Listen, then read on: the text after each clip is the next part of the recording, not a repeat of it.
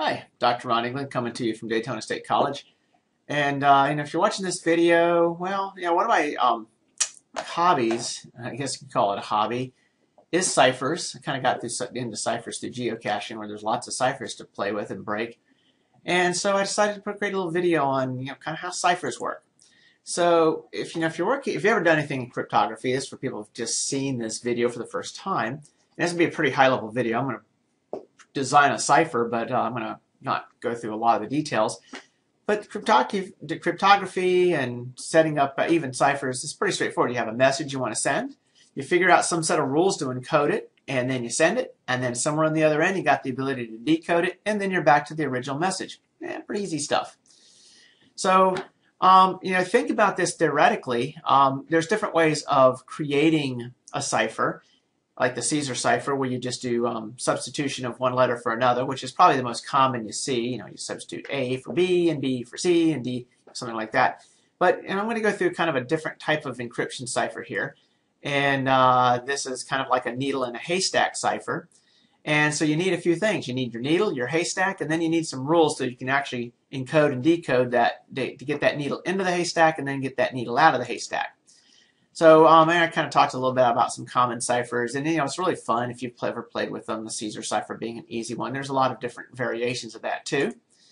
But let's start with um, this cipher right here. So um, my haystack here, I'm just going to create a little grid here, and I've created a message here. H E L L O. Hello. So there's my message, and it's going to be read going down, and I've got a row and a row and a row and a row. And um, in this case, the, um, the message is in just different columns. Um, it's pretty easy to see right now since there's nothing else in the other columns. And I'm actually going to do some encoding here. And this encoding works like this. Um, I've got my H, which is the start of the message, and in the next column I'm going to put a K. And what that actually means is if I were to come down to the next column here and put an H, I, J, K, well, the next letter in the cipher is in column that's offset by HIJK. So I take that letter, I move over 4, and there's my next letter. And if you look at this here, I've got E. Well, this would be C, D, E. So where the C is, that would be the L, which would be the next letter in the message. L, M, N, O, P. So there's the P. And in K, L, there's that O. So it's pretty straightforward. And that's just a way of actually doing the encoding, and that's really the cipher rules. You just use, in this case, the next letter in the cipher is the one that tells you where the next letter is in the next row. Well, it's kind of cool. All right, so now all you do to finish out the haystack is you simply fill in the blanks with random letters. And in this case, they're actually not random because I kind of believe in the needle in a needle stack is better. But the actual other ones also make messages, but you're just not sure which of the messages is true. So if you actually were to follow through here, you would be able to make lots of words like A, P, P, L, E, apple, um, you know, just different things. If, and actually, if you work through this, you'll find that I made words out of every single combination of letters you can always run through and come up with some message. All right.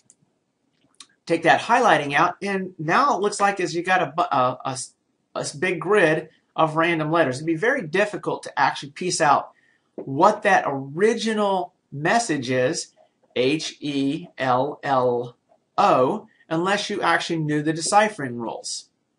Well, you know what?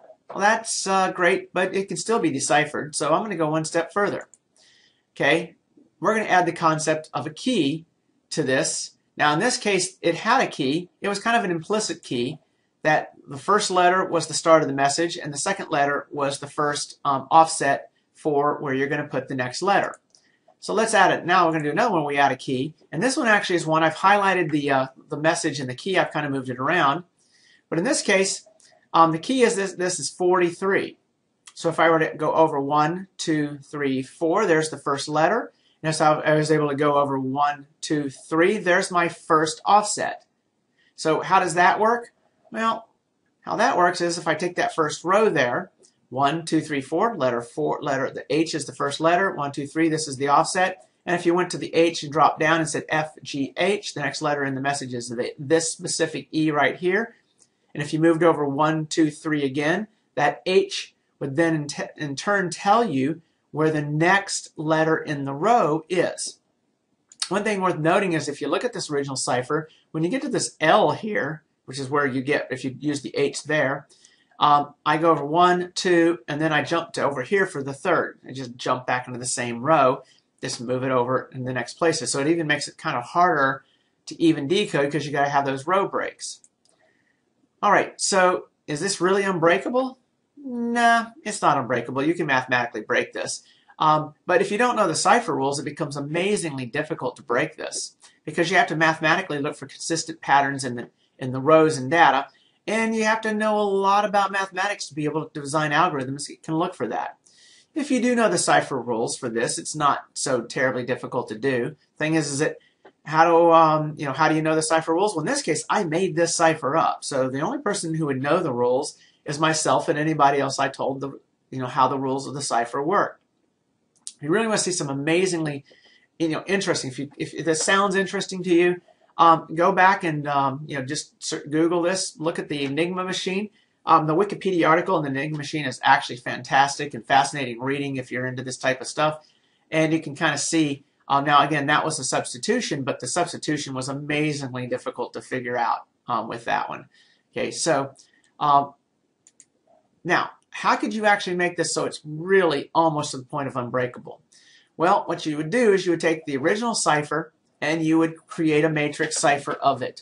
And then, okay, to make it much more difficult, you take that cipher, you would take the individual um, letters in that cipher, and you would make a second cipher from it. So notice the second cipher would be would have the actually decoded would be M K A H F M F, and then you'd have to apply the cipher twice. So the first cipher decodes to this cipher, which then can be decoded by the same set of rules, can then be decoded into the original message. Well, without knowing the cipher rules and knowing that you had a double cipher, you've got almost a cipher that can't be broken. So um, now, of course, this cipher is breakable. Why? Because, well, guess what? I just gave you the rules. But and it's not that tremendously difficult to come up with cipher variations and other types of ciphers that can be amazingly hard to break.